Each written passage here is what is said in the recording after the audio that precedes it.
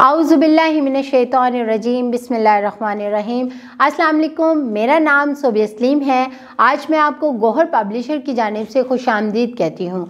हमारा मोटो है redefining the geography of education through digital resource for conceptual learning आज हम गोहर नदाए उर्दू जमात अव्वल, सबक नंबर तेरह और सफ़र नंबर 125 खोलेंगे और वहाँ पर मौजूद पाकिस्तानी लबास के बारे में जानेंगे। सबक पढ़ने से पहले मैं इस कराम से मुखातिब होना चाहती हूँ और उनको ये बताना चाहती हूँ कि किस तरह आप सबक को पढ़ाएँ कि तलबा को दिलचस्पी पैदा हो और वो लुत्फ़ उठा सकें। सबसे पहले आप तलबा से इस सबक से मुतलिक चंद सवाल करें। यानी कि उनसे पूछें, आपको कैसा लबास पसंद है? आप कौन सा लबास पहनते हो? आप कौन सा लबास पहन के खुश होते हो? ये तमाम सवालात के जवाब वो आपको देंगे और सबके जवाब मुख्तलिफ़ होंगे। आप उनके जवाब लें और उनकी हौसला अफजाई करते हुए उन्हें बताएँ कि लबास आपकी ज़िंदगी का कितना अहम जुज़ है।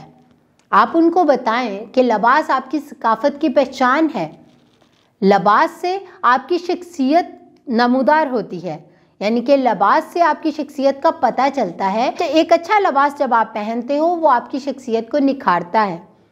इसके अलावा आप उनको ये भी बताएँ कि लबास आपकी सकाफ़त को भी ज़ाहिर करता है। जैसे कि जब भी आप शलवार कमीज़ और धोती पहने हुए किसी शख्स को देखते हो तो क्या लगता है?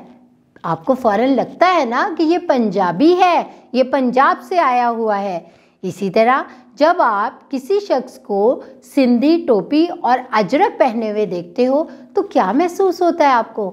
लगता है ना कि ये सिंध से आया है।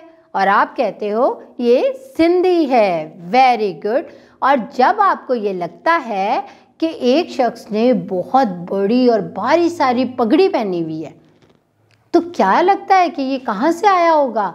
हम सोच में पड़ते हैं और फिर सोचते सोचते कहते हैं, ये तो बलोची है। तलबा को आप इस तरह उनको समझाएँ ताकि उनको पता चले कि लबास आपकी सकाफ़त की पहचान है। आपके इलाके का बताता है कि आप किस इलाके से ताल्लुक़ रखते हो। और इसके साथ साथ आप तलबा को ये भी बताएँ कि एक अच्छा लिबास जहाँ पर आपकी शख्सियत पर एक बेहतर असर डालता है, वहाँ पर एक नामुनासिब लिबास जो है, वो आपकी शख्सियत को बिगाड़ भी सकता है। और उनको बताएँ कि पाकिस्तान में मुख्तलिफ़ त्योहारों पर मुख्तलिफ़ लिबास पहने जाते हैं। जब आप मुख्तलिफ़ लबास देखते हो तो उससे ज़ाहिर होता है कि ये हमारे किस सूबे से और किस इलाके से ताल्लुक़ रखते हैं लोग। और इसके अलावा आप उनको ये बताएँ, दूसरे मुल्कों के लबास को पहनने की नस्बत अपने लबास को तरजीह दें। जब आप अपने इलाके के, अपने मुल्क के लबास की हौसला अफजाई करेंगे, उसे पहनेंगे तो वो हमारे कल्चर की एक अलग शनाख्त कायम करेगा। वो बताएगा कि हम पाकिस्तानी हैं और हम पाकिस्तान के इस सूबे से ताल्लुक़ रखते हैं। इसके बाद आप तलबा को बताएँ कि अब हम इस सबक में पाकिस्तानी लबास के बारे में जानेंगे। इसके साथ साथ आप तलबा को बताएँ कि हम ये जानेंगे कि ये सबक पढ़ने के बाद हम उर्दू की कौन कौन सी महारतों पर अबूर हासिल कर लेंगे। तलबा को बताएँ कि लतीफ़ा या पहेली सुनकर आप समझ सकेंगे। अपनी पसंद, नापसंद का मुनासिब अल्फाज में इजहार कर सकेंगे। हरूफ इजाफत, जो कि मैंने आपको पिछले इसबाक में भी बताया था कौन कौन से होते हैं? का, की, के, की पहचान कर सकेंगे।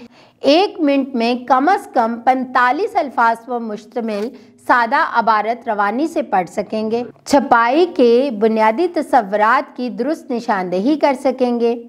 तस्वीर देखकर इसमें मौजूद अशिया के नाम लिख सकेंगे, सादा अल्फाज सुनकर लिख सकेंगे, अपने घर, स्कूल, मस्जिद, इबादत गाहों के अदाब का ख्याल रख सकेंगे और इनकी अहमियत के बारे में इजहार कर सकेंगे।